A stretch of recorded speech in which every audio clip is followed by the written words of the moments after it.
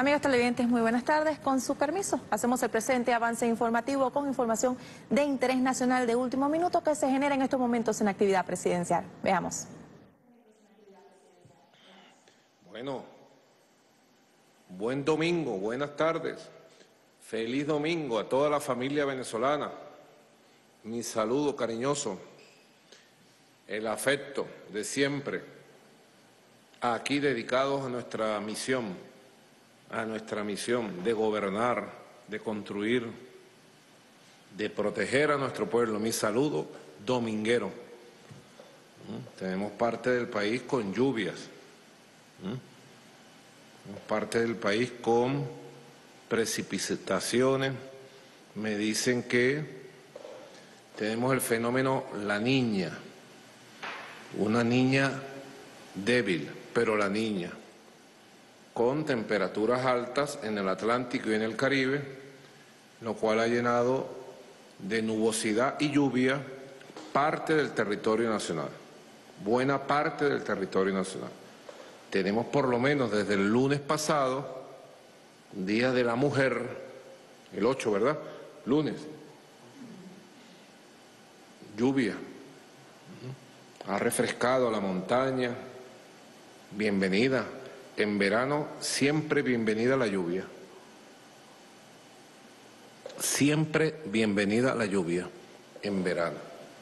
Y bueno, vamos a ver hasta dónde nuestros expertos en clima, meteorólogos, nos dicen que pudiera extenderse esto. Vamos a ver. Así que estamos con lluvia, con temperaturas más bajas a las normales en este mes de marzo, mes de abril, en estos meses que son siempre calurosos, muy calurosos. El llano venezolano me dicen que está muy caluroso, muy caluroso. Ahí no está pegando este fenómeno la niña, es lo que me informan en los reportes. Mi saludo al llano venezolano y a todo nuestro pueblo. Bueno, hoy tenemos el domingo. Estoy desde mi casa porque estamos terminando la semana de cuarentena radical cuarentena radical. Allá en la vicepresidencia ejecutiva está la doctora Delcy Rodríguez con todo el equipo de la Comisión de Salud. Estábamos conversando ahorita, reunidos por videoconferencia. Doctora Delcy Rodríguez, vicepresidenta, mi saludo a todo el equipo de salud coordinado. Han tenido mucho trabajo porque hemos estado nosotros pendientes, muy pendientes, de la llegada de la variante brasilera, el P1 y el P2 del COVID-19. Son dos variantes, bueno, que ya han llegado casi a 30 países, me dicen. Tenemos esta variante brasilera en la región capital, directamente. Caracas, Miranda y La Guaira. En Bolívar. Está bastante avanzada la llegada de esa nueva amenaza de la COVID-19, la variante brasilera. Y se consiguió un caso en el Zulia. Hemos estado evaluando precisamente la variante brasilera tiene la característica de que es más contagiante, más contagiante es la variante brasilera, más virulenta. Y la experiencia que tenemos es que es más mortal, pareciera, con los datos del Brasil y ya nuestros datos en Venezuela. Cómo ha batido ya y comenzamos a tener un crecimiento en el número de fallecidos diarios y los nuevos fallecidos son de variante brasilera. Tengo que decírselo a toda Venezuela. Hemos estado evaluando nuestro método, el método venezolano, el 7 más 7, sus fortalezas, sus oportunidades, también sus debilidades, sus agotamientos, ¿verdad? Es muy importante porque la COVID-19 está presente en el mundo entero haciendo estragos, aún hoy, un año después de que aparecieron los primeros casos en todo el mundo. Ayer 13 cumplimos un año del primer caso de la COVID-19 en Venezuela, un año. El próximo martes 16 cumplimos un año de la primera cuarentena, el 16 de marzo, parece que fue ayer, de la primera cuarentena que tuvimos. Cumplimos un año el 16 de marzo ya. Esa cuarentena funcionó muy, pero muy bien.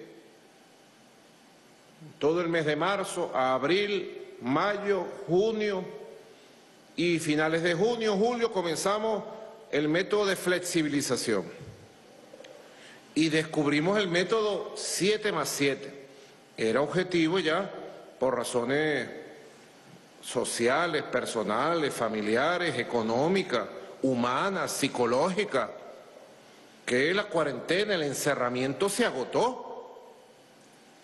No solo en Venezuela, en el mundo entero.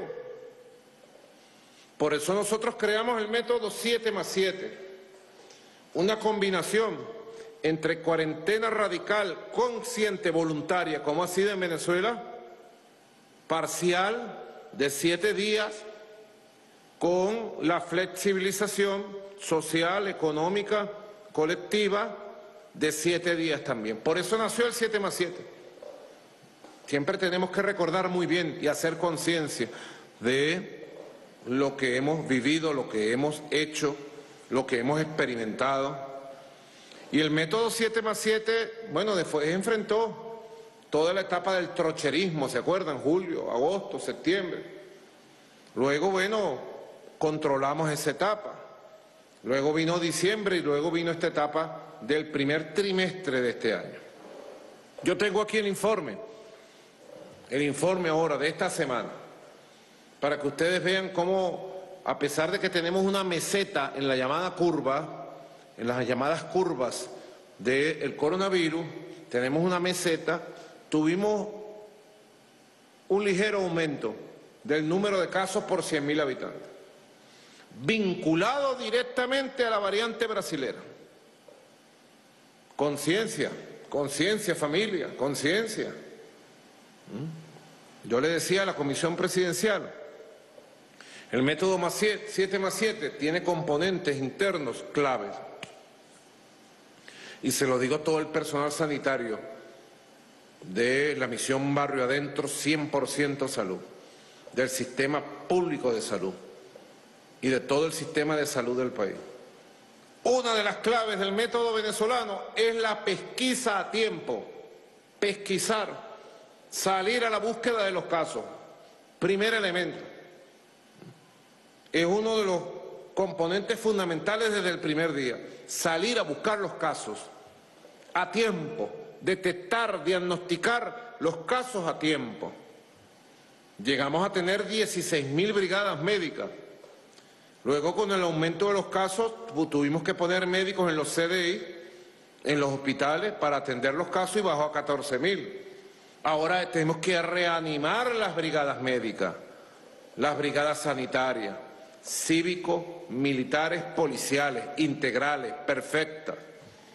Primer elemento, la pesquisa, la brigada, que va, que atiende, que toca al paciente, que toca a la familia.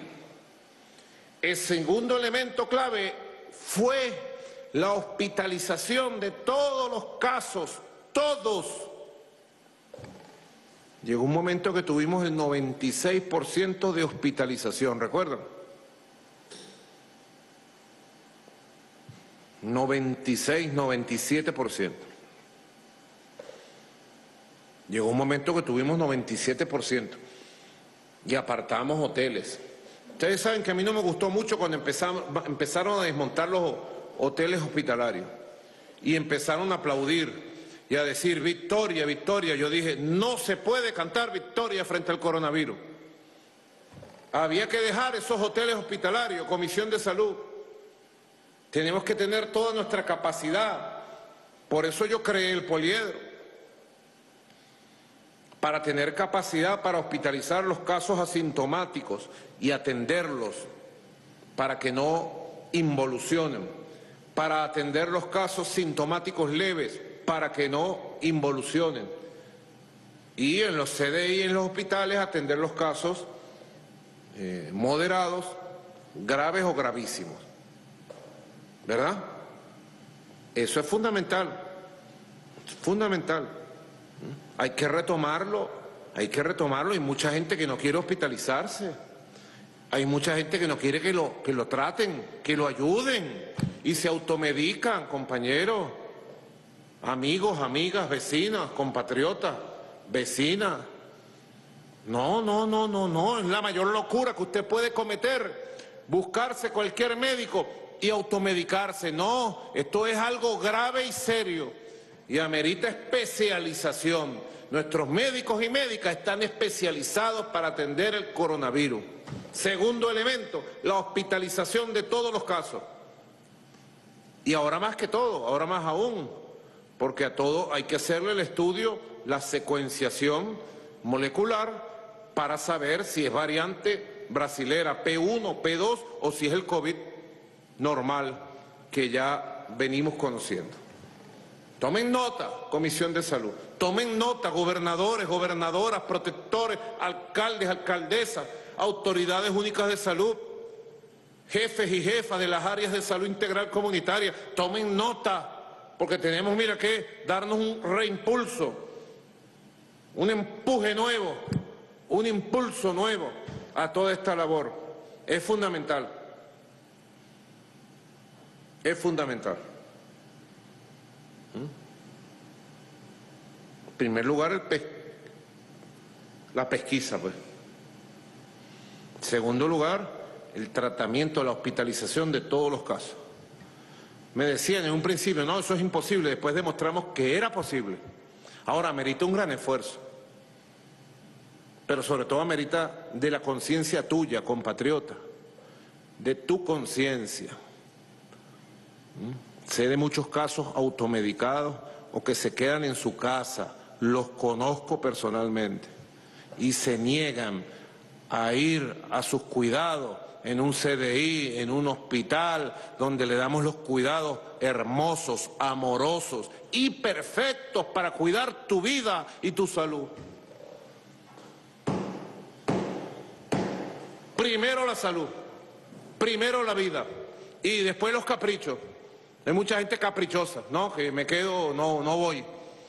Yo me molesto mucho con eso, se los digo.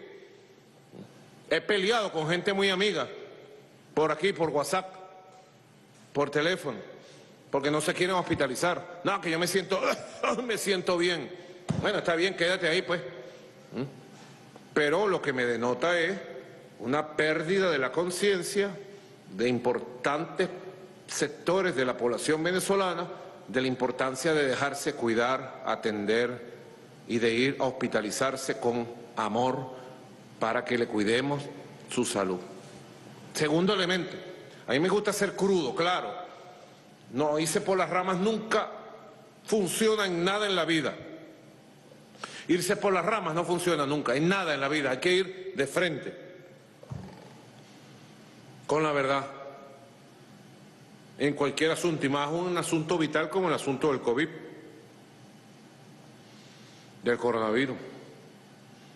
En tercer lugar, los tratamientos que hemos venido perfeccionando y garantizando, haciendo de tripas corazones, como dice Cilia, mi esposa Silita, que está aquí acompañándome, Silita Flores de Maduro, Silita, la bonita. ¿Mm? Dice, haciendo de tripas corazones. ¿Mm? Y es así. Hemos garantizado todos los tratamientos integrales y sabemos en qué etapa se usa una parte de los tratamientos, en qué etapa se usa otra parte. ¿Mm? Si usted, por ejemplo, usa a destiempo el esteroide, en vez de ayudar, hace daño, por ejemplo. ¿Mm? Ahí están los tratamientos. El esteroide hay que usarlo en el momento preciso, no puede ser arrancando el tratamiento. Por ejemplo, un comentario de los estudios, de las recomendaciones del equipo científico y médico. Sabemos y hemos perfeccionado los tratamientos, los mejores tratamientos del mundo de manera gratuita para todo nuestro pueblo. Los mejores tratamientos, a tiempo, garantizan la recuperación del enfermo. Por eso tenemos un 94% de enfermos recuperados. Oído, oído.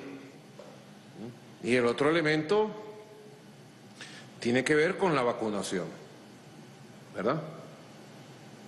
Quiere decir la pesquisa, las brigadas, la hospitalización de todos los casos, los tratamientos y la vacunación. La vacunación ya la arrancamos, aquí tengo el informe de la vacunación. Aquí está el informe completo. En las próximas semanas y meses seguirá llegando vacunas de Rusia, de China y de otros lugares del mundo que ya estamos negociando, firmando contratos. Yo dije que en abril comenzaba la etapa avanzada de vacunación. Ojalá la cumplamos y creo que lo vamos a cumplir por el amor de Dios y por el amor a nuestro pueblo. La vacuna. Esta primera generación de vacuna, quiero que me escuchen bien, tiene la virtud de evitar que el cuerpo se enferme, te protege ante la enfermedad, pero te puedes infectar. Todas las vacunas que hay hoy en el mundo, es la primera generación de vacunas hecha en tiempo récord. Todas las vacunas. Unas vacunas son mejores que, que otras para elevarte tu inmunología, tu capacidad de defensa. Y se está trabajando por una generación de vacunas que permitan la protección total, o sea, que la enfermedad no te pegue, ni puedas tú contagiar. Tú puedes estar vacunado ya con las dos dosis de Sputnik, pum, pum. Puedes estar vacunado con las dos dosis de la China, plum, plum y ya tu inmunología está fuerte. Pero si te descuidas y no te cuidas, se te puede pegar el coronavirus. Lo que pasa es que el cuerpo está preparado para defenderte y no te enfermas. O si te llega a dar, te llegan pequeños sintomitas, pequeños sintomitas. Esa es la verdad de las vacunas en el mundo. De todas maneras, los expertos en el mundo y en nuestro país dicen que vacunando el 70% de la población con esta primera generación de vacunas, pudiéramos lograr el llamado eh, inmunidad de rebaño, la inmunidad del rebaño, vacunando el 70% de la población. Después vendrán las vacunas de segunda generación, tercera generación, y con el favor de Dios y de la ciencia, en el futuro tendremos entonces vacunas 100% seguras 100% inmunidad. Ahora, en cuarto lugar, nuestro, nuestro método se basa en avanzar en la vacunación como lo hemos avanzado, en la vacunación. Aquí está, con la vacuna rusa, la vacuna china. Personal de salud de primera línea que realiza sus actividades en los centros centinelas en los triajes respiratorios, emergencias, salas de hospitalización, COVID-19, unidades de cuidados intensivos y personal de apoyo de dichos centros públicos y privados. En segundo lugar, el personal de salud de primera línea que atiende pacientes con COVID en centros de salud que no son centinelas, pero que se habilitaron para la atención de pacientes personal de trabajo comunitario que participa en la captación, despistaje, casa por casa, de pacientes con síntomas respiratorios, incluye a todo el personal de salud de barrio adentro, 100% salud, promotores de salud, integrantes de movimientos sociales, milicianos, fuerzas policiales y de seguridad.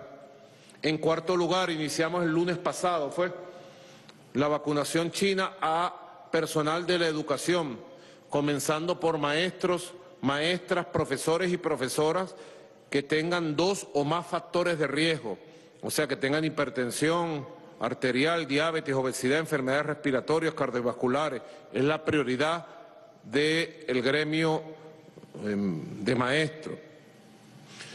Así que hemos arrancado fuertemente y ahora estamos haciendo un plan especial de vacunación en las zonas donde ha aparecido la variante brasilera para cortar de tajo todo lo que tiene que ver con esta variante brasilera. Así que fíjense ustedes, importante, método venezolano, el 7 más 7. La clave, la clave, la clave, usted la tiene en sus manos. Ustedes tienen en sus manos la clave. La clave es cuidarse. Ustedes saben dónde se descuida uno. En el trabajo o en espacios de confianza, de amistades o en la familia. Usted está en un espacio donde está con compañeros de trabajo o amistades, vecinos, ahí se descuida, vamos quitando la, la máscara, ¿vale? Pum. Están reunidos un consejo comunal, un club, o están reunidos en una fábrica, un centro de trabajo, en un cuartel. Y de repente, bueno, estamos aquí en confianza, vale, vamos a quitarnos el tapaboca. O en la familia, vamos a comer, vamos a comer toda la familia, a quitarse el tapaboca. ¡Ping! Solo uno que tenga coronavirus los contagia a todos. Porque te contagia la persona cercana de tu confianza.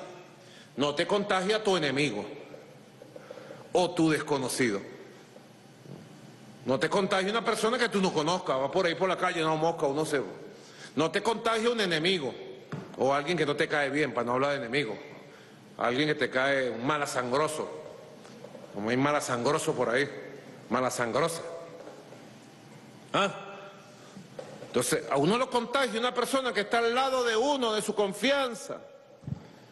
Hay que cuidarse para seguir transitando con el 7 más 7 y los cuidados hacia una baja significativa de los contagios y de los fallecidos. Lamentablemente, hemos tenido, bueno, un reporte de aumento, leve, pero aumento. Aquí está el informe oficial. Atención, vicepresidenta, para que me dé los números del día de hoy. Pendiente, pues. Vamos a estar pendiente del pase con la vicepresidenta para que me dé sus comentarios y me dé los números del día de hoy. Dice, situación del COVID en Venezuela el 14 de marzo del 2021. Comisión Presidencial del COVID-19. Para el 14 de marzo tenemos en Venezuela 6.951 casos activos en la última semana hemos mantenido en promedio 6.658 casos, 505 casos nuevos y 472 recuperados.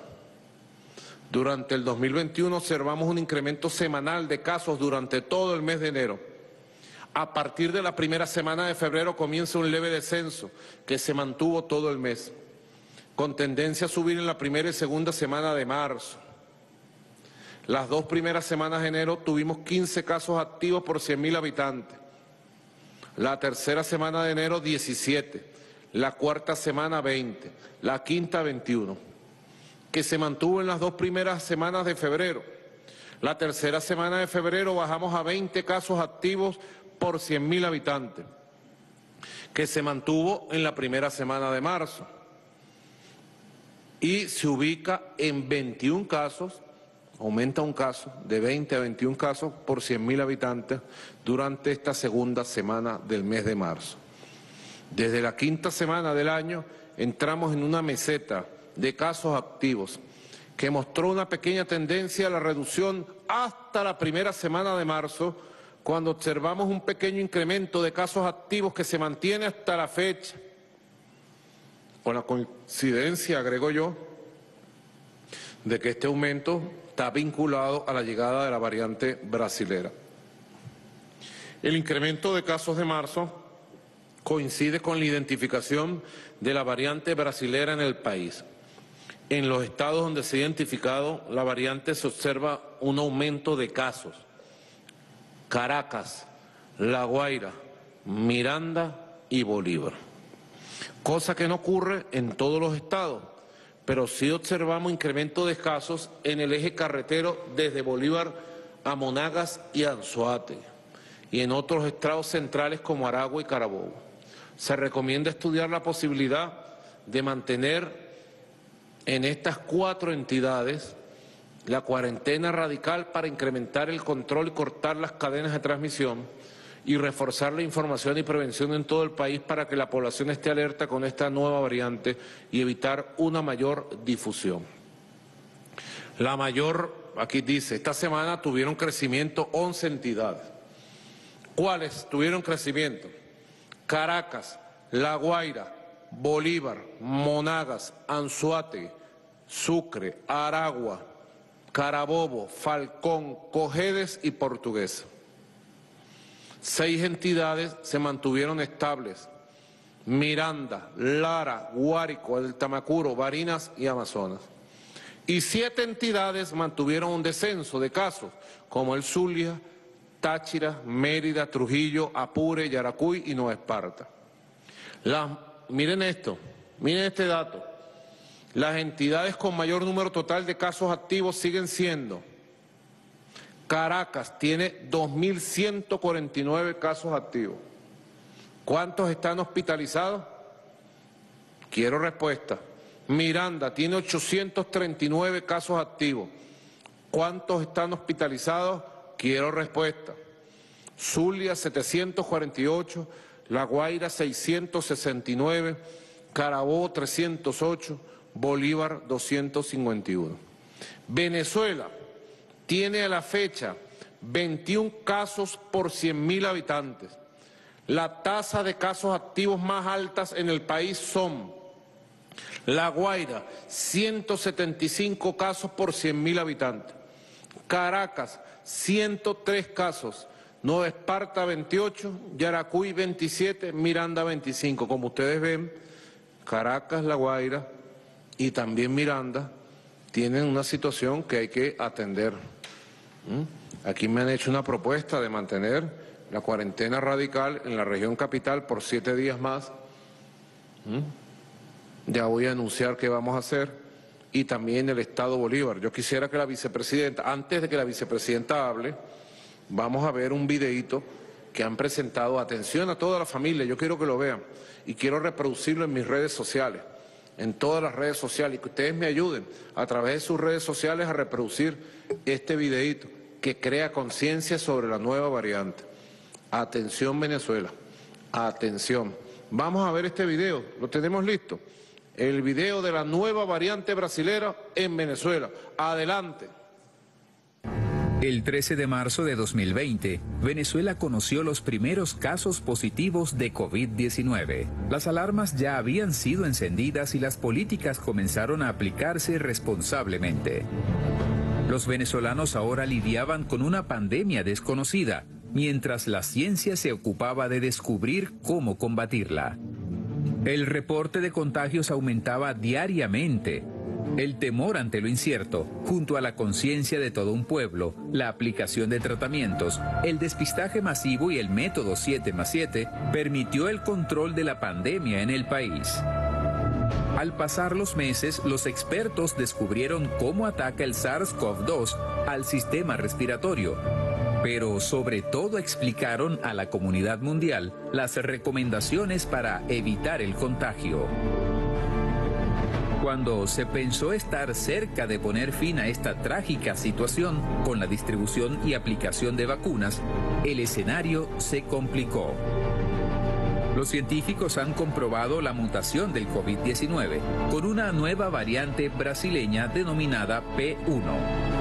Esta es entre 1.4 a 2.5 veces más contagiosa, con mayor interacción y más carga viral. ¿Esto qué significa?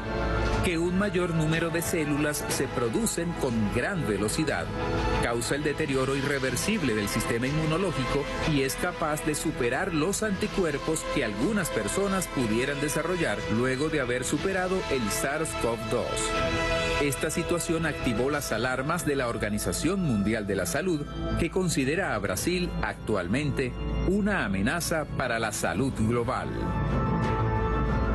En Manaos los científicos descubrieron esta nueva variante que se ha esparcido a gran velocidad por varios países y que solo en Brasil ha ocasionado la muerte de 2.000 personas en los últimos 15 días.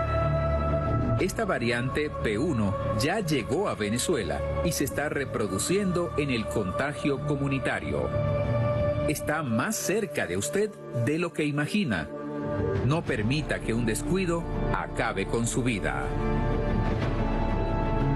La agresividad de esta variante obliga a que la conciencia y la reflexión sean a partir de ahora mucho mayores. El país logró de manera admirable el control del COVID-19 y ahora podrá superar esta crítica situación una vez más. El gobierno nacional pone todo el empeño en un impoluto proceso de vacunación. Pero hay que tener conciencia de que aquí no acaba todo. La única forma de salir ilesos de todo esto es juntar nuestros esfuerzos en una misma lucha, agudizando las medidas de bioseguridad, control y prevención. Venezuela no se rendirá ante esta nueva batalla contra el enemigo invisible y sus variantes.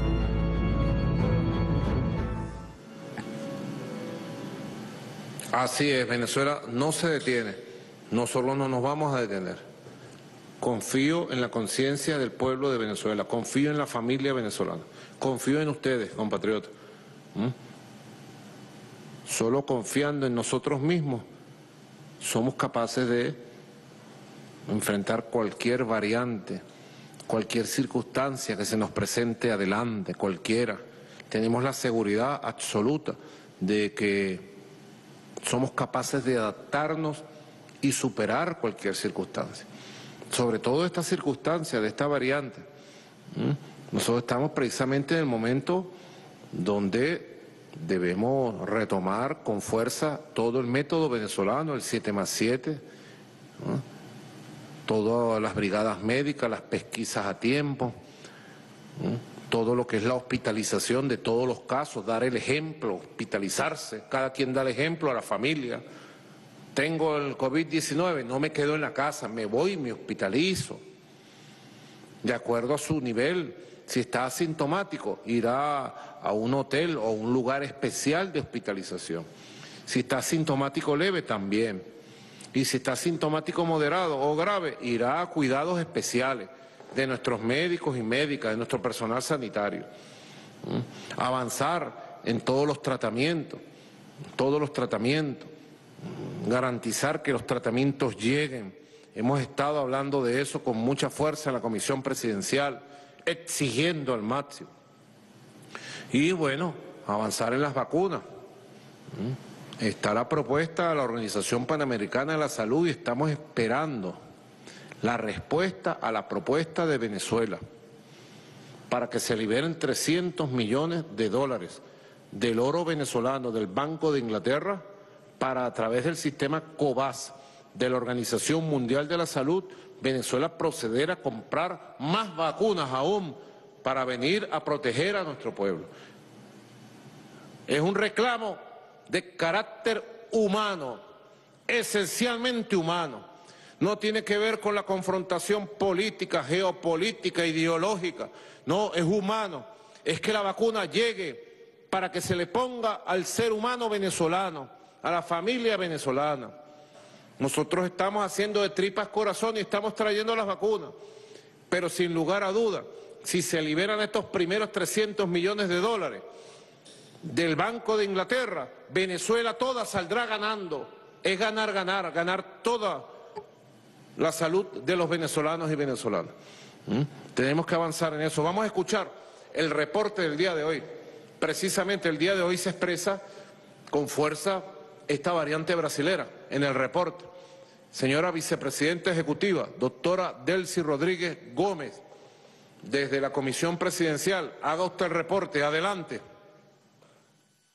Gracias, presidente. Bueno, llegó ya un año de la aparición de este virus terrible en Venezuela. Y a un año, ya usted ha hecho el balance, se podría decir que el pueblo de Venezuela ha sido victorioso con su modelo del 7 más 7. Pero no nos podemos cansar jamás de cuidar la salud y la vida.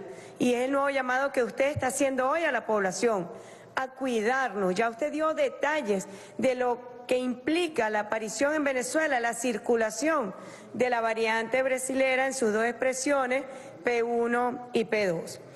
El día de hoy, presidente, debemos informar que hay 550 casos comunitarios, de ellos la entidad con mayor número de casos es Caracas, con 96 casos, Carabobo con 83 casos, Nueva Esparta 59 casos, La Guaira 58 casos, Miranda 46 casos, Sucre 27 casos, Portuguesa 24, Yaracuy 23, Zulia 23, Monaga 23, Anzuategui 16, Aragua 14, Falcón 14, Lara 8, Los Roques 8, Cogede 7, Guárico 7, Táchira 6, Apure 4 y Barinas 4 casos.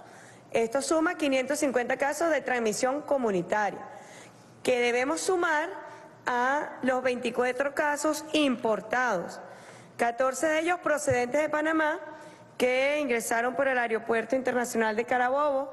Nos acompaña el ministro Hipólito, ya hemos dado la indicación de contactar las autoridades aeronáuticas para tomar cartas en el asunto. Además, nueve procedentes de México, ocho ingresaron por el Aeropuerto Internacional de Carabobo también y uno por La Guaira y uno procedente de República Dominicana que ingresó por el Estado Carabobo. Hacemos un llamado al Estado Carabobo, al gobernador Rafael Acaba, que sabemos que está muy pendiente de este tema, bueno, tomar cartas en el asunto, las pruebas de vida a la llegada en el aeropuerto, como se está haciendo ya en todos los aeropuertos internacionales donde tenemos el mecanismo de la prueba molecular. Un número importante, ya usted lo mencionó, presidente, y es que Venezuela tiene el 94% de los casos recuperados. Y a ello debemos destacar que el 96% está recluido en centros de salud público, en nuestros hospitales o en el sistema barrio dentro, en los CDI, y un 4% está en las clínicas privadas. Usted ahorita nos hizo una pregunta sobre la situación en Caracas y en Miranda. Bueno, casi un 20% de los casos detectados en Caracas están en sus residencias y en Miranda el, número es mucho más alto. Estamos aquí en conversación con el gobernador Héctor Rodríguez, donde las personas que se quedan en sus casas alcanza un 60%. No nos podemos cansar de cuidar la salud y la vida. No puede haber fatiga en ello porque nos estamos jugando la razón de existencia nuestra vida, nos estamos jugando la vida también de otras personas. Así que las personas contagiadas, ya nosotros tenemos los dispositivos activados, presidente, hemos estado en coordinación con el ministro del Poder Popular para el Turismo, tenemos activados hoteles sanitarios en estas entidades que han tenido un crecimiento debido a la circulación de la variante brasilera. Cinco estados del país tienen la variante brasilera, presidente. Y uno de esos estados es justamente el estado Miranda, Caracas, el estado Bolívar.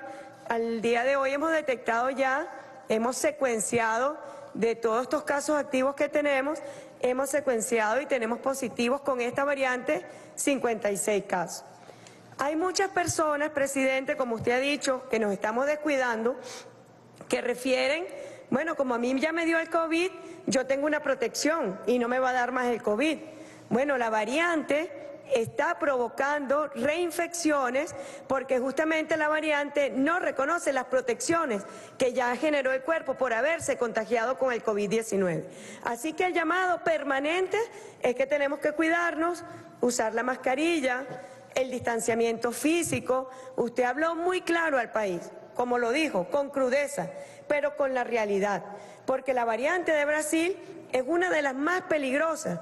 La Organización Mundial de la Salud y la Organización Panamericana de la Salud toda esta semana han estado recalcando la peligrosidad de esta variante.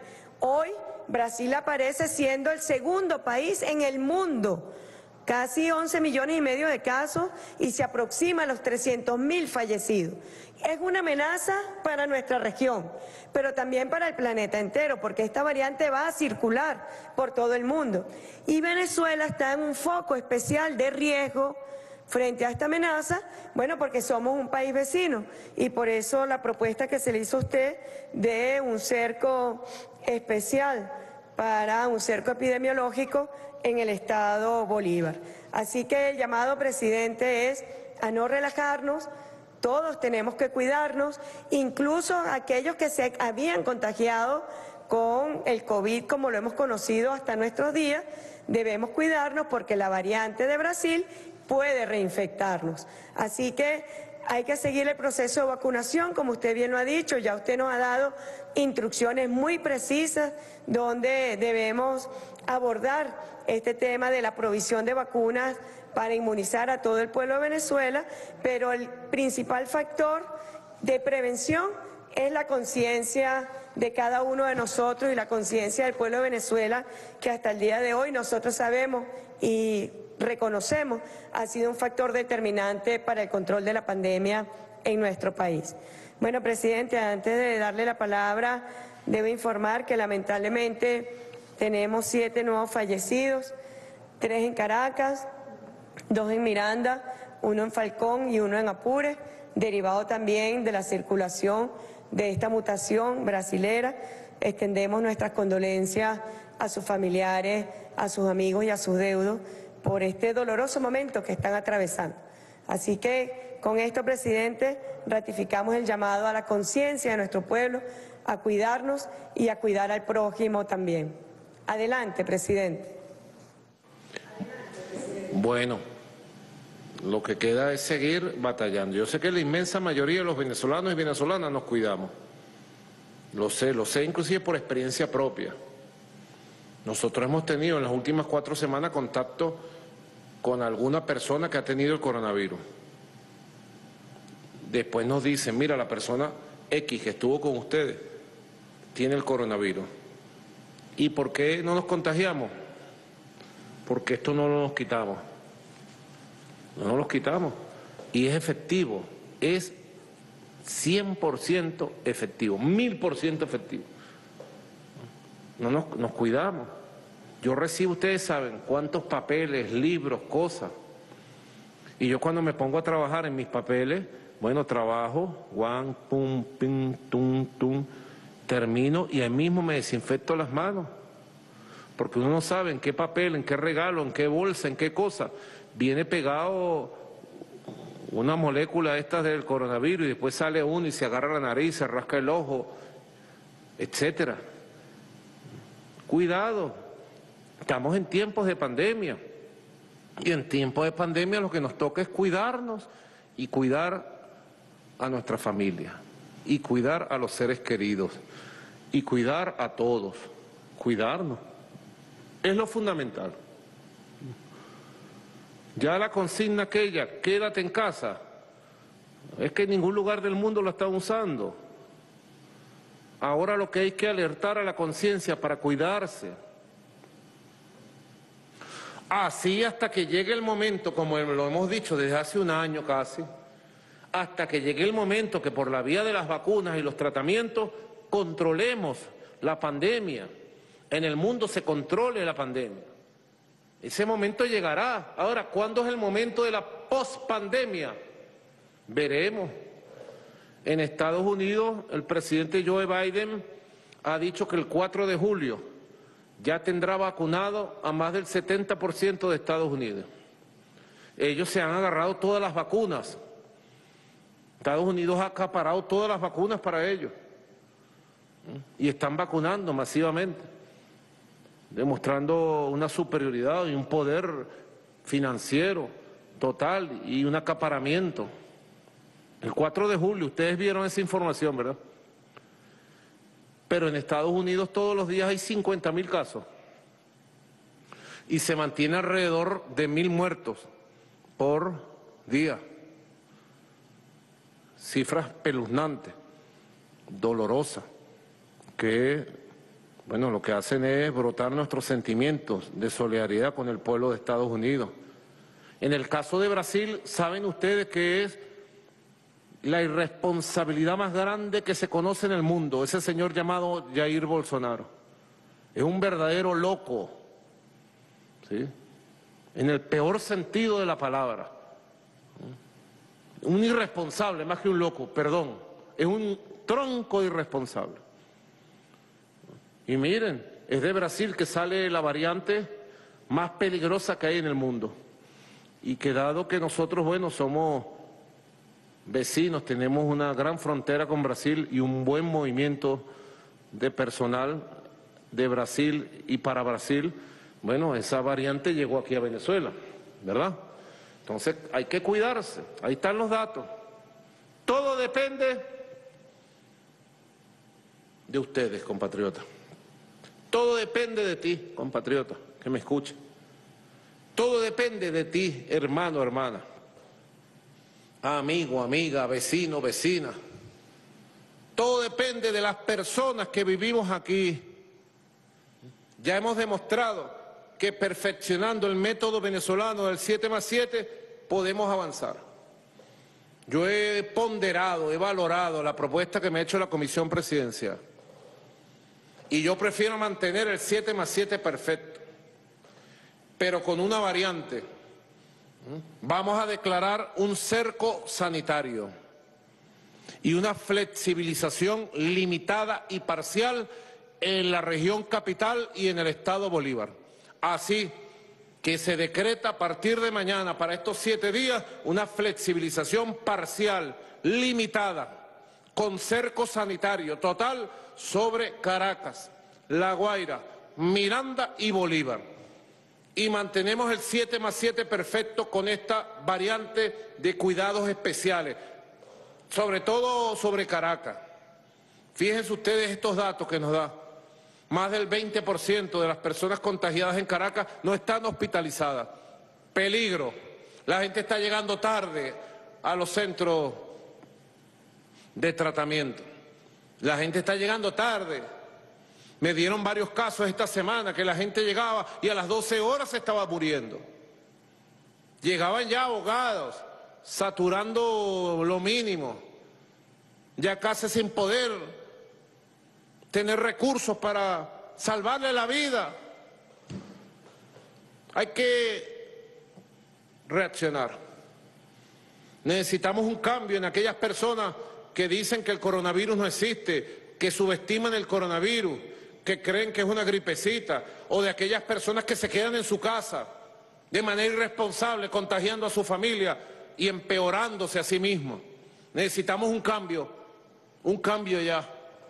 Y ese es el cambio que vamos a buscar con liderazgo, renovar la espiritualidad, la energía, el ánimo, renovar el esfuerzo para llegar a la familia. Fíjense, me dice entonces el gobernador de Miranda, gran gobernador del estado Miranda, Héctor Rodríguez, que el 60%, dijo Héctor Rodríguez, señora vicepresidenta, de las personas diagnosticadas en Miranda no están hospitalizadas. Ven, ¿y qué estamos haciendo? ¿Mm? Por eso yo les decía a ustedes en la reunión en privada, el método, nuestro método, tenemos que recuperarlo con mucha energía, mucho liderazgo. Eso amerita mucho liderazgo.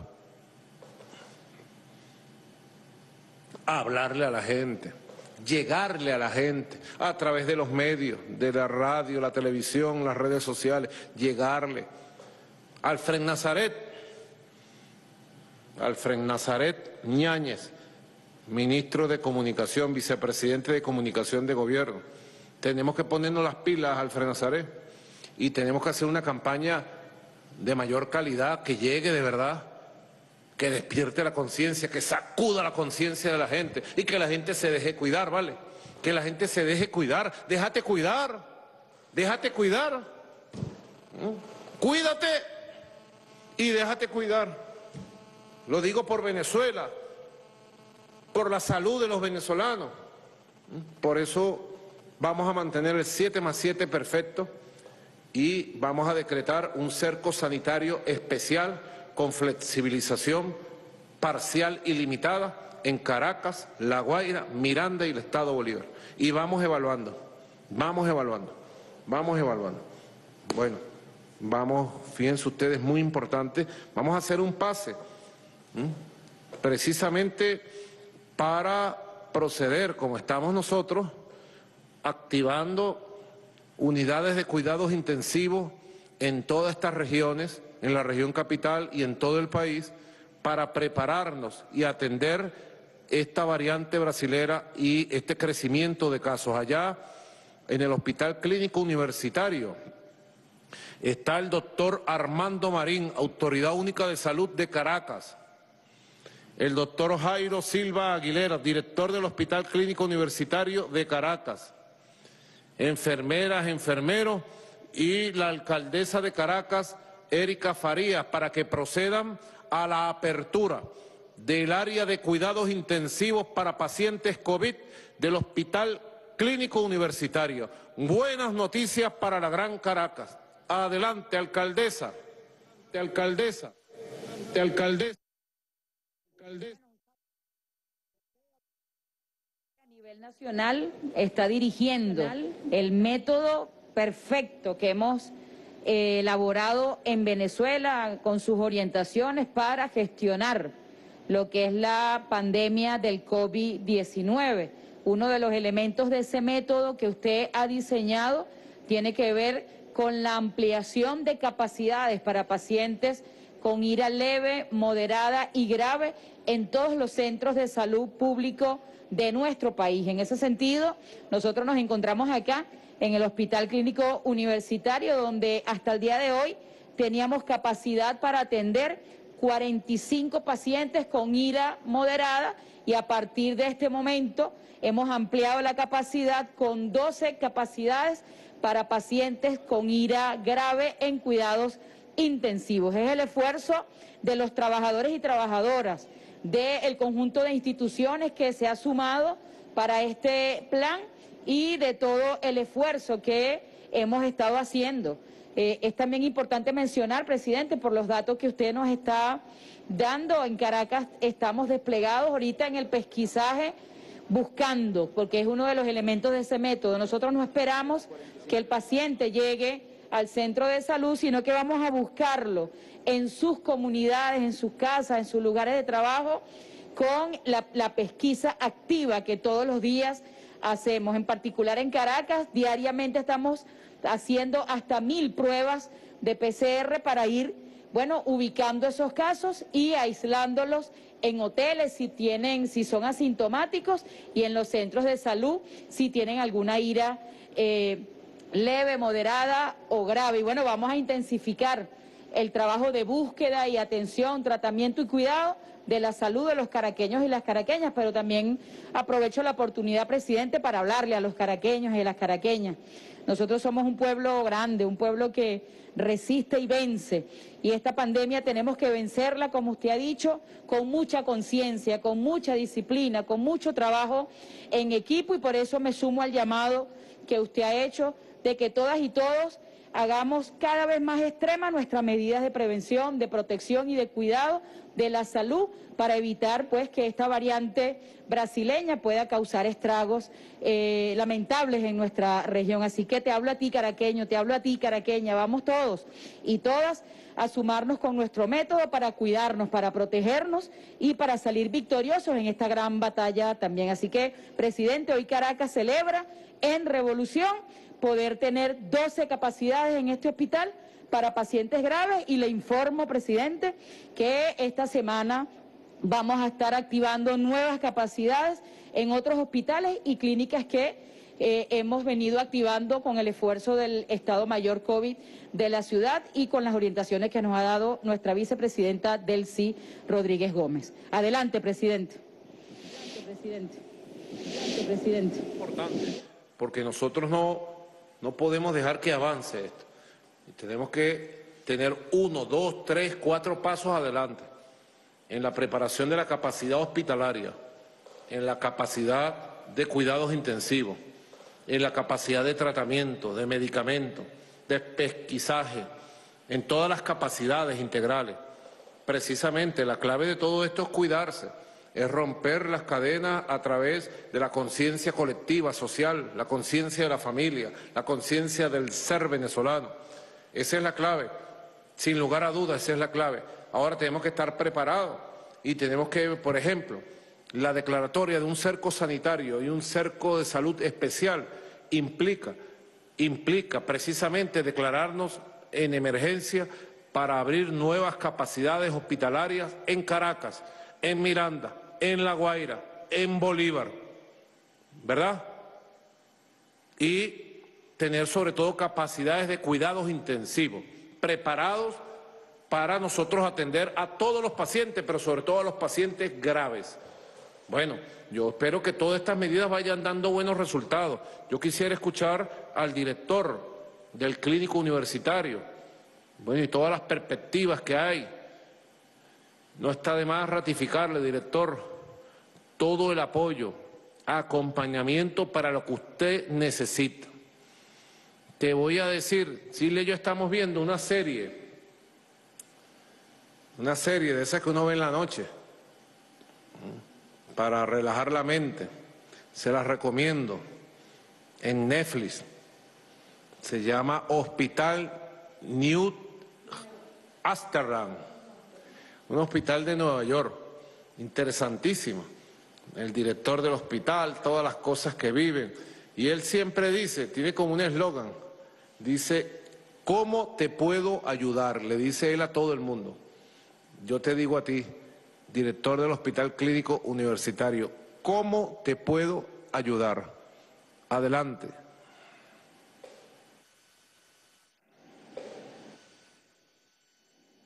Saludos, presidente. Desde aquí, desde las instalaciones del Hospital Universitario de Caracas, muy contento y muy agradecido por ese apoyo y la felicidad que nos da poder ofrecer al pueblo el día de hoy 12 cupos de terapia intensiva para el manejo de pacientes en insuficiencia respiratoria aguda grave. En ese anhelo que ha sido un deseo de todo este equipo que usted está viendo hoy aquí, vemos cristalizado ese sueño, ese esfuerzo por ofrecerle a la comunidad más capacidad para atender pacientes. Tenemos en este momento la cepa amazónica, que está haciendo estragos en nuestro hermano país Brasil, y que por continuidad nos hemos visto afectados. En ese anhelo y en esa búsqueda de aumentar la capacidad, estamos ofreciendo hoy al pueblo de Venezuela esos 12 cupos, como muy bien lo dijo la alcaldesa, para la atención de nuestros pacientes.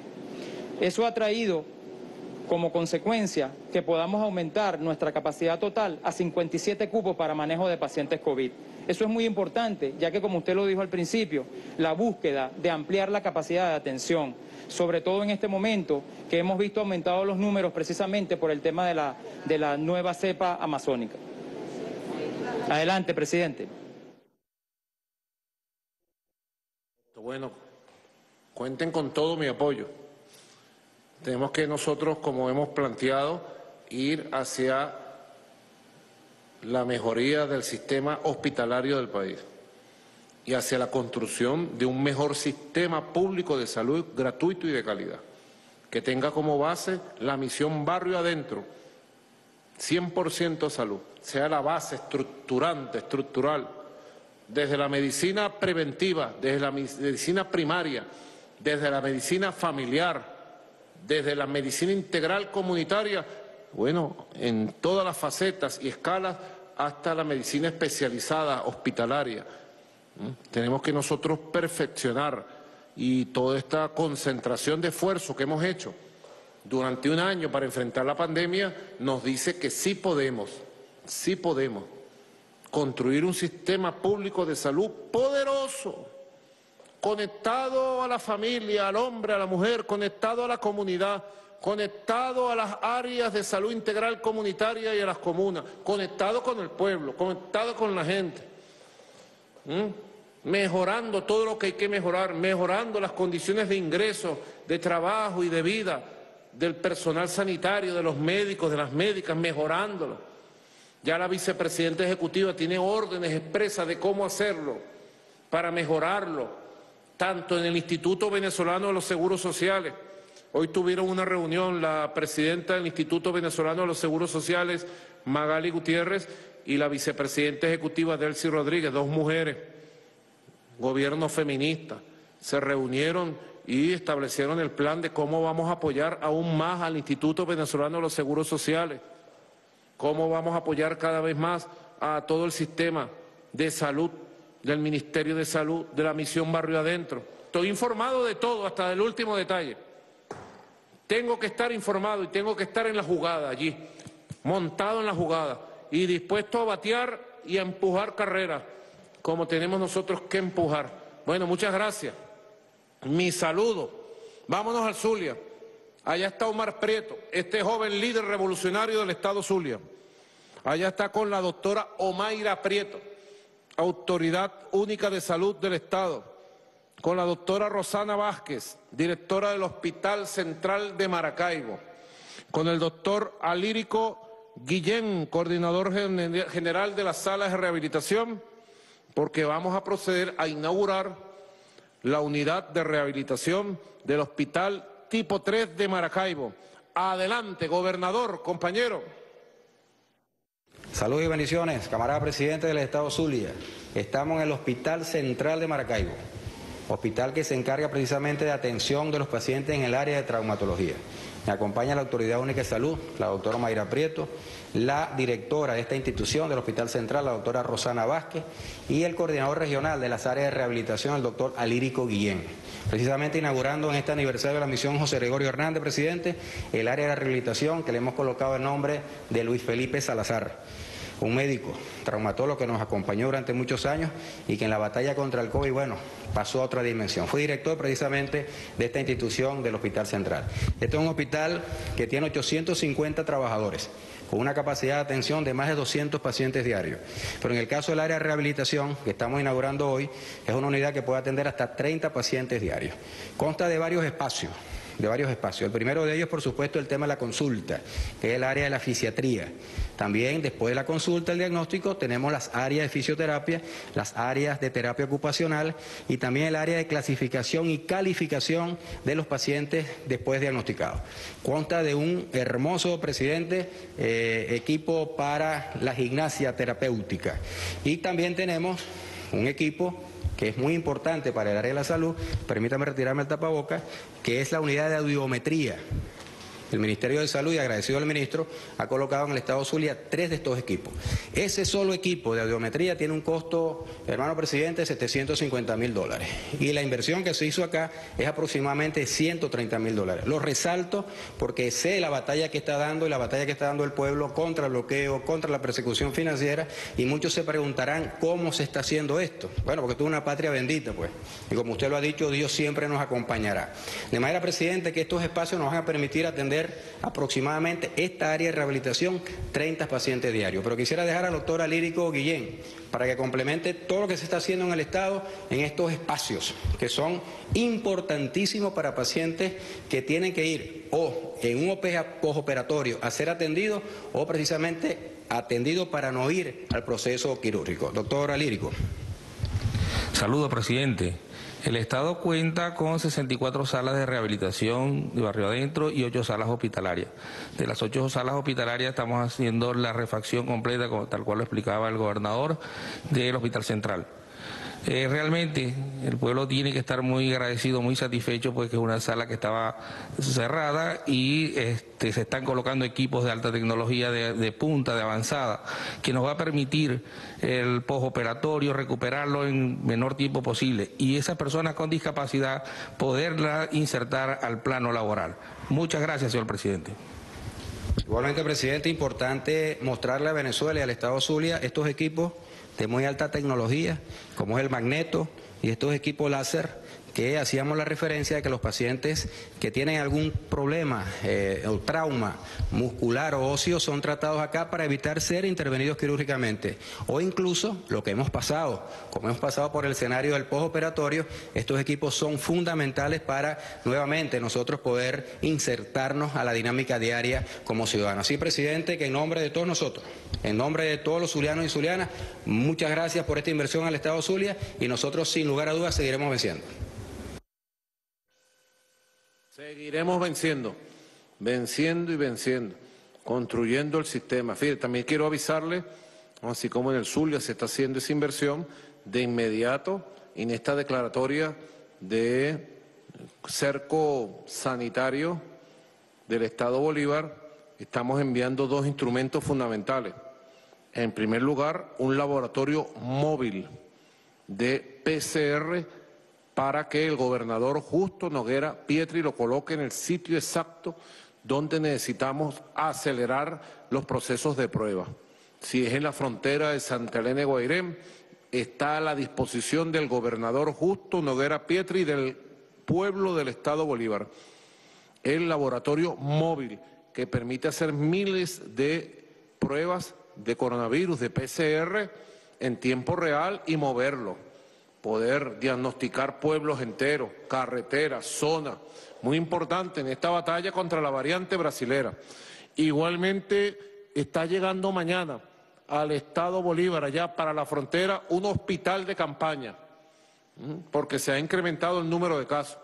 Un hospital de campaña, llegando al Estado Bolívar, como parte de estas medidas necesarias que hemos venido anunciando. Necesario tener las capacidades, garantizar todo, todo, garantizar todo, completamente todo, y supervisar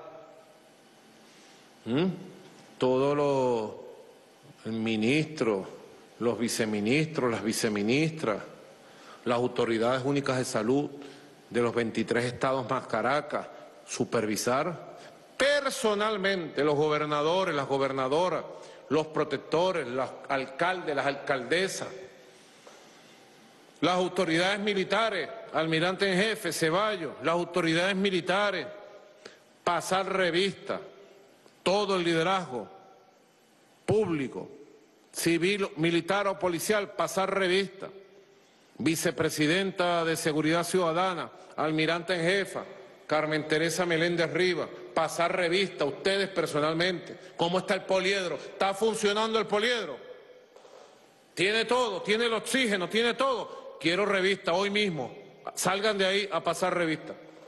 ¿Ah? ¿Cómo están los hospitales Centinela? ¿Cómo está la capacidad? ¿Mm? Inmediatamente pasar revista, pasar revista, pasar revista. Reactivar los hoteles hospitalarios.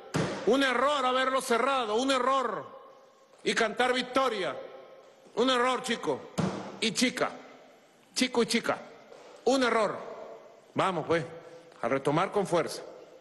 Por la salud del pueblo por nuestra patria, por nuestro pueblo, por la gente, pues, por la gente. Amor, amor, amor.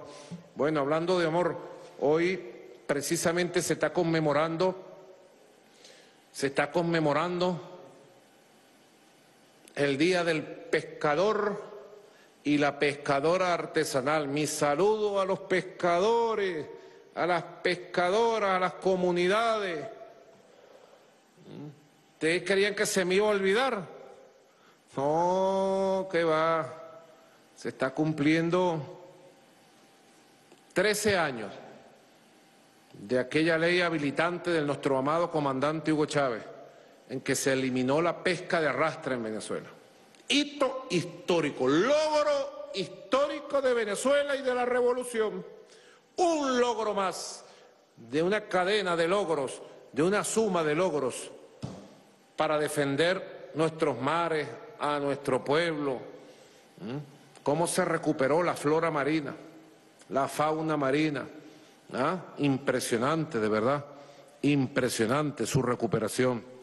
Así que mi saludo especial. Y vamos a ver este video del Día del Pescador y la Pescadora. Vamos a ver el video, adelante. Hoy estamos celebrando el Día del Pescador y la Pescadora Artesanal. La faena del pescador es la más peligrosa del mundo, muy sacrificada y muy riesgosa. Esta madre tierra produce para que todos vivamos aquí honrados y felices, pero el capitalismo es el obstáculo más grande para lograrlo, estamos demostrando que por la vía del socialismo es posible comandante Chávez aprobó la ley que prohibió la pesca destructiva de arrastre y decretó el Día del Pescador y la Pescadora. Venezuela tiene que ser una potencia. Hermanos pescadores y hermanas pescadoras hoy están en el centro de la batalla por la nueva economía y por la felicidad de la patria. Que vivan los trabajadores y las trabajadoras del mar. Precisamente. Tenemos muchas cosas pendientes. Hoy es 14, mañana 15 de marzo, así lo anuncio, empieza la zafra de la sardina en todo el país. Buena noticia para nuestros pescadores y pescadoras. Del 15 de marzo a diciembre, la zafra de la sardina. ¿Mm? Hay buenas expectativas para que la sardina llegue al hogar venezolano, llegue a los CLAP, la sardina. Vamos a darle el pase al ministro, joven líder revolucionario, ingeniero Juan Luis Laya, quien precisamente está en Catialamar, en La Guaira, con el gobernador Jorge Luis García Carneiro, con Julio Moreno, miembro del Comité Promotor del Congreso Bicentenario de los Pueblos, capítulo Pesca y Acuicultura. Vamos al despliegue nacional del Día del Pescador y la Pescadora. Adelante, Laya. Gracias, presidente. Aquí nos acompaña también nuestro gobernador García Carneiro, desde La Guaira, lo saluda. Junto a nosotros también estamos en el muelle pesquero La Zorra. Es un muelle que es uno de los más importantes del estado de La Guaira y hace dos años, presidente, hemos venido atendiendo este muelle con una limpieza a la zona para que pueda salir y entrar todas las embarcaciones. Decirle, presidente, que nos sentimos bastante orgullosos de todos nuestros pescadores y pescadoras que salen día a día a faenar, que salen a ese extenso mar a traer la proteína pesquera para todo nuestro país. También decirle, presidente, como ya usted lo orientó, el día de mañana se le da inicio a toda la pesca de la sardina. Recordando que la pesca de la sardina el año pasado fueron más de 50 millones de kilos producidos por las asociaciones sardineras. Este año, presidente, queremos dedicarle este, esta pesca, plan de sardina al compañero Argeni León de la Asociación de Sardineros del Morro. Pido disculpas para quitarme el tapaboca, que falleció el año pasado, que fue uno de los líderes que impulsó las asociaciones de sardineros en Sucre. También estamos, presidente, impulsando la pesca de río, importante para todos los habitantes del país, para que podamos consumir esa, esa cachama, ese coporo, el curito. Pues yo quisiera que el compañero Julio Moreno, mejor conocido como el conejo de Aragua, de Chuao, pudiera también decirle todos los logros y las luchas que hemos tenido de nuestro sector pesca artesanal. Adelante, conejo. Gracias, ministro. Eh, eh, agradecerle, presidente, a nuestro gobernador, general en jefe Jorge Luis García Carnero, pero especialmente usted. Usted por creer en nosotros. Usted porque en esta batalla que hemos tenido siempre ha estado en la vanguardia, en la vanguardia acompañando a nuestros pescadores, a nuestras pescadoras, en todo el pueblo pesquero nacional, en todo el pueblo acuícola nacional. Son 892 consejos de pescadores, de los cuales 700, 760 son de pescadores y pescadoras, 132 de acuicultores y aquicultores. Pero hay una novedad, presidente, que es algo bueno para nosotros, es que, bueno, en medio de la pandemia, en medio del bloqueo y en medio de la crisis, se ha sumado un nuevo sector que había sido invisibilizado, que era nuestro género, fueran, eran las mujeres, este, aquellas, aquellas amas de casa que estaban relegadas en, los hogares y que bueno, en todas las comunidades pesqueras del país, en todas las comunidades acuícolas, nosotros ahora hemos ganado ese esfuerzo, pero es, ganar, ganar para, para trascender en lo social y nos permite mejorar nuestra economía y permite también mejorar nuestra actividad pesquera. Pero también algo novedoso, en el medio de la pandemia también y en la crisis, en la crisis a través que tenemos, a través del bloqueo, se han sumado también los jóvenes. Jóvenes que en estos tiempos de no, de no ir a las universidades, a no ir a los liceos, bueno, lo estamos recuperando a través de chamba juvenil, a través de programas de inserción laboral que nos permiten a nosotros avanzar y poder sumar felicidad para el pueblo. Adelante, presidente. Oye, me alegra mucho ver y escuchar al conejo. El famoso conejo de Chávez, ¿vale? ¿Ah? Estás igualito, conejo. Qué alegría verte, ¿vale? Y saber que ustedes están en la onda del Congreso Bicentenario de los Pueblos. Miren, yo quiero recordarle a todo venezolano o venezolana que quiere incorporarse a los movimientos sociales del Congreso Bicentenario de los Pueblos, que está abierto a la inscripción a través del Carnet de la Patria, a través del sistema Patria, para que ustedes se inscriban y nos digan, nos digan dónde quieren incorporarse para nosotros llamarlos, convocarlos e incorporarlos al Congreso Bicentenario de los Pueblos. Vamos hacia la gran jornada del 19 de abril del Congreso Bicentenario de los Pueblos. Vamos a retomar, a reactivar ahora en una nueva etapa los consejos de gobierno popular de cada sector. Y uno de los sectores donde vamos a activar el Consejo de Gobierno Popular de los pescadores, pescadoras, acuicultores y de todo el sector pesca, conejo. Vamos a ver un videito para que ustedes vean qué sencillo es incorporarse, no me van a quitar el pase, mantenemos el pase con la Guaira. Qué sencillo es en este video, y lo voy a reproducir en todos mis medios, redes sociales, para que ustedes se incorporen a través del carnet de la patria y nos digan dónde usted va a participar en el Congreso Bicentenario del Pueblo con su opinión, con su voluntad y con su amor. ¿Está listo el video? Está listo el video. Vamos a verlo. Adelante. Venezolana, venezolano, si quiere formar parte de alguno de los movimientos del Congreso Bicentenario de los Pueblos, el proceso es sencillo. Solo debes ingresar al sistema Patria y registrarte. Ven, construye con nosotros el futuro del país. Participa. Congreso Bicentenario de los Pueblos. La unidad por la revolución. Excelente, Congreso Bicentenario de los Pueblos. Vámonos al Estado Sucre y mantenemos el contacto con La Guaira, allá en el Morro de Puerto Santo, Parroquia El Morro, municipio de Arismendi. Allá está Edwin Rojas, gobernador, junto a Héctor Carreño, pescador y motorista, Olga de Figueroa, viceministra, Luis León, presidente de la Asociación de Sardineros del Morro, José Villarruel, alcalde del municipio de Arismendi, y nuestro almirante Jorge Tajam, comandante de la zona marítima insular Oriente. Apresto operacional del Plan Nacional de Sardina. ¿Qué tal? Adelante el Estado Sucre, vamos. Muchas gracias, presidente Nicolás Maduro.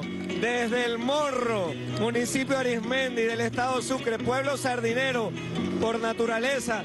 Aquí voy con mi amigo Héctor, pescador y marinero, manejando este motor 40, con nuestra viceministra Olga, nuestro pescador del Consejo de Pescadores Luis, nuestro almirante de la SODI Marítima en la Unión Cívico-Militar, nuestros diputados y alcaldes.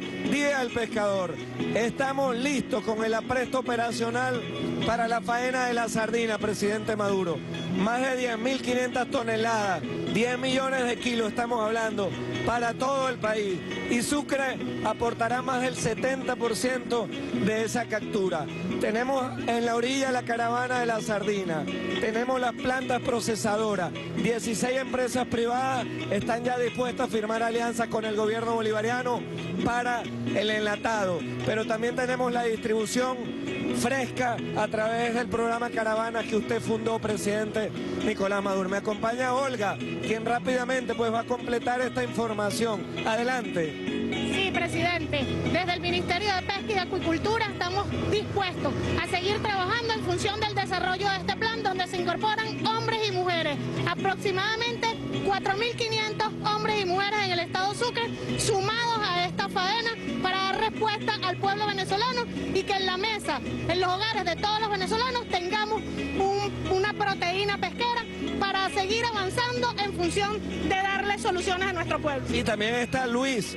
Luis es hijo de uno de los grandes fundadores de los consejos de pescadores socialistas, presidente. ¿Y quién es? Bueno, la razón de ser de este programa, los pescadores. Adelante, Luis. Tu saludo al presidente hoy día del pescador. Presidente, saludos desde el pueblo pescador. Hoy día del pescador agradecemos por, por la oportunidad que nos da de ser protagonistas de la historia en Venezuela. Cuente con los pescadores 100% para dar la cantidad de la captura que usted necesita para cumplir con los planes socialistas. Desde el morro de Puerto Santo, leales siempre, traidores nunca. Bueno, presidente Nicolás Maduro, vamos a la orilla, vamos a llegar a la orilla aquí, porque aquí tenemos todo el sistema complementario, porque es un sistema nacional que se ha instalado gracias a usted desde que fundó el Ministerio de Pesca. Cuenta con Sucre, presidente Maduro, para esta batalla por la vida. Nos vamos para la orilla, porque ya estamos llegando aquí al muelle del Morro, presidente. Nos bajamos aquí.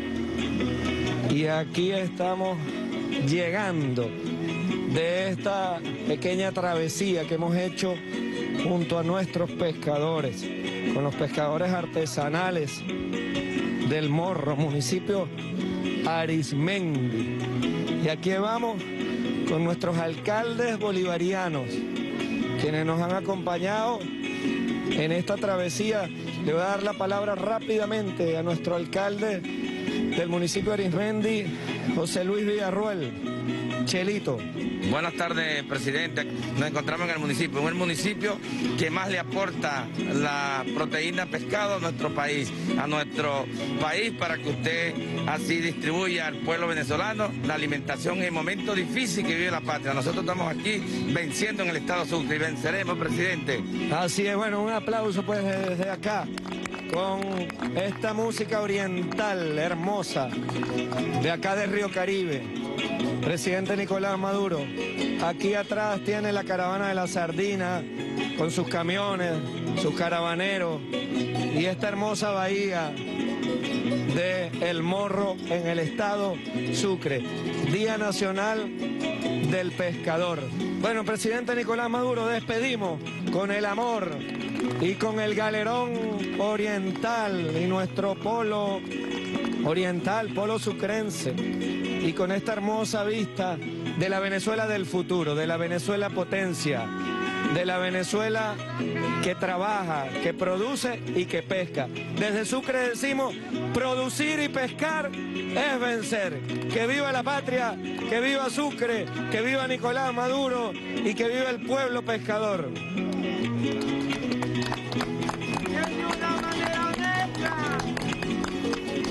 Esa vale la costa de Río Caribe con sus pescadores en plena faena. Y ahí está, miren, ese bello mar, ese bello mar, ese mar mío, como dice la canción, ¿no? Ese mar mío, viene, se eleva, se eleva y se va. Ese mar mío, viene y se va sin no sé qué cosa. y se va. Bueno, una belleza de verdad. Uno se traslada hasta allá para estrechar las manos de mis hermanos pescadores, mis hermanas pescadoras, en perfecta unión cívico-militar. Mírenlos allí, en plena faena. Y mañana ya empieza la zafra de la sardina, llamada así. Se levanta la veda y empieza la zafra. Tienen metas grandes, grandes, metas grandes. Bueno, fíjense ustedes, 24 estados activos. Tenemos 897 consejos de pescadores y pescadoras en plenaria en el Congreso Bicentenario de los Pueblos. ¿Mm? Mañana empezamos precisamente la caravana de la sardina, cayendo y corriendo. ¿Mm? Hay una masificación a través del arte de la pesca al programa Chamba Juvenil, Laya, muy importante la juventud, la juventud, ¿no? Está la reactivación de la estructura de Pesca Alba y todo este esfuerzo. Bueno, Laya, ¿qué más nos tienen que decir desde allá, desde La Guaira? Ahí está nuestro gobernador, ahí está todo nuestro equipo. Adelante, Laya.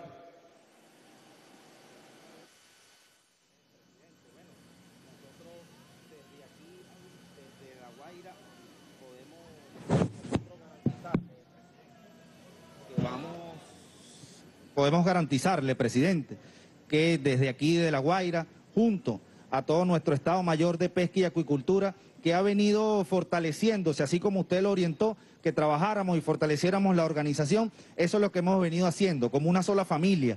Así como lo dijo nuestro hermano Julio Moreno, tenemos los compañeros pescadores artesanales de todo el país, listos, prestos para seguir produciendo, presidente. Nosotros también quisiéramos fortalecer la acuicultura que ha venido nosotros incrementándolo año a año, fortaleciendo todo el trabajo de los acuicultores y es una propuesta que también le hacemos de reivindicar este Día de Pescador como también el Día del Acuicultor. También podemos decirle, presidente, que nuestra empresa matriz Pescalva hoy está más activa que nunca, presidente. Tenemos nosotros cuatro unidades de producción. Ya acabamos de meter dos embarcaciones al dique. Tenemos solamente en el país dos diques secos. Nosotros tenemos uno de esos y lo, tenemos bastante activo. Tenemos ya cuatro embarcaciones listas para faenar, para ir a buscar esos atunes en el Caribe y seguir produciendo por el país, presidente. Yo quisiera que el compañero Prisco Ávila, de aquí, del Muelle de la Zorra, también pudiera saludarlo y pudiera reivindicar todo el trabajo que venimos haciendo en todo el país con los estados mayores de pesca. Adelante, Prisco. Gracias, ministro. Saludos, presidente, en nombre de todos los pescadores y pescadoras. Este, bueno, presidente, aquí una vez más, desde que usted dio la orden de, dragar los muelles aquí en la, en la Guaira, ya aquí en La Zorra, ¿se acuerda cuando desde el bañario de Catelamal en el 2019 usted nos dijo a nosotros que usted empeñaba su palabra con este muelle y así lo viene haciendo nuestro, nuestro ministro Paredes?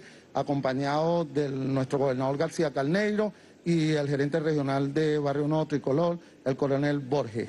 Y aquí, bueno, presidente, cuente con nosotros, seguiremos haciendo revolución pesquera, porque ya nosotros, eh, en el llamado que usted nos hizo en el movimiento del poderoso Congreso Bicentenario de los Pueblos, ya nosotros hemos hecho 132 asambleas estadales y 1.500 parroquiales, donde han participado más de 7 mil voceros y voceras junto a pescadores para discutir la ley de pesca y todas las necesidades que requiere el sector en, los venideros uh, eh, años para seguir así enrumbándonos a la independencia de la proteína pescado y sellar en este año, que es el año bicentenario, para así poder llevar a nuestro pueblo tan necesaria proteína. Bueno, presidente, queremos también terminar el pase entregándole este certificado.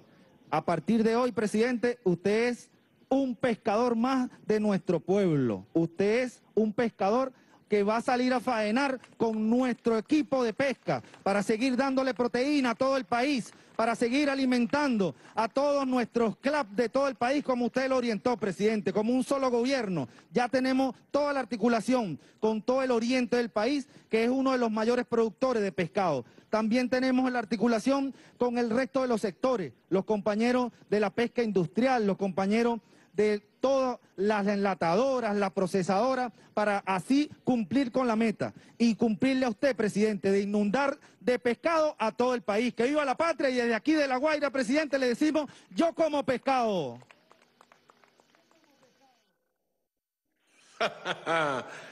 yo como pescado, tú comes pescado, él come pescado.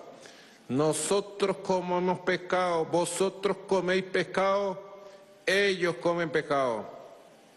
Está bien, me gusta mucho ese espíritu. Y además Venezuela, una de sus vocaciones marítima, atlántica, es una vocación pesquera. Sabemos lo que hay que hacer, cómo hay que hacerlo. Bueno, hagámoslo. Para nosotros, elevar la presencia de la proteína, producto del pescado, en la mesa de la gente, de la mesa de la familia venezolana, en la mesa de nuestro pueblo. Hagámoslo, articulemos, vamos a una expansión de esa capacidad de pesca que es grandiosa. Tenemos además, si en algún lugar se pudo conservar las costumbres, el patrimonio cultural, el conocimiento en la producción, fue en el mar, en el mar venezolano, y si en algún lugar la revolución ha potenciado a niveles que jamás en la Cuarta República se vieron, es el apoyo a los pescadores y a las pescadoras, como nunca antes. la organización de decenas de consejos de pescadores en el país nos hace tener un poder popular, una fortaleza única, que solo tiene la revolución, que jamás antes existió. El pescador y la pescadora han visto con desdén, así, maltratados, eh, excluidos de palabra y de acción, maltratados y excluidos. Siempre fue así, hasta que llegó el comandante Hugo Chávez y la revolución, y los puso en lo más alto, pescador, pescadora venezolano, y ahora el acuicultor, la acuicultora. A partir de hoy, los 14 de marzo, celebraremos el Día del Pescador y la Pescadora Artesanal y del Acuicultor y la Acuicultora de Venezuela, unidos, unidos un solo movimiento. Ahora, me hacen, fíjense ustedes, una petición para que autorice los recursos y la intervención en las rancherías a nivel nacional. Aquí tengo yo los números del diagnóstico de las rancherías, ¿verdad? Tenemos 24 casas del pescador a nivel nacional, ¿verdad? Tenemos además rancherías, 1.864 rancherías de pescadores, 1.526 en Sucre, el gran estado de la pesca del país, nuestro amado estado Sucre, en el oriente del país.